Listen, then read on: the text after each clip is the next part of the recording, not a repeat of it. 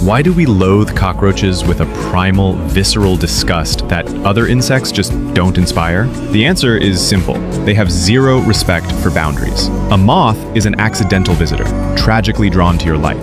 A cockroach is a home invader that thinks it owns the place. It's not lost, it's colonizing. It has the audacity to stare you down when you open the cabinet, and when cornered, the southern ones will fly. Not in a straight line, but in a chaotic, physics-defying panic that always, always seems to end on your face. They are masters of psychological warfare, appearing on your toothbrush, in your shoes, or in your bed, creating a constant, low-level terror that you've lost control of your own home. And they are nearly unkillable. They eat everything. Your food, your wallpaper glue, your cardboard, and even each other.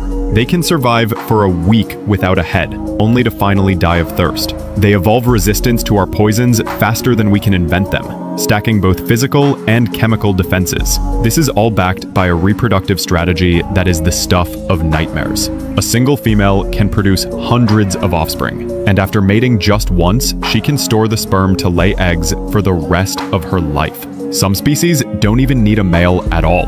This is why, alongside the mosquito, the roach is one of the few creatures we'd gleefully drive to extinction. Ecological balance be damned. It's been on this planet for 320 million years. It's a near-perfect survivor. And if you're ever in a Snowpiercer-style apocalypse, it's also a fantastic source of protein.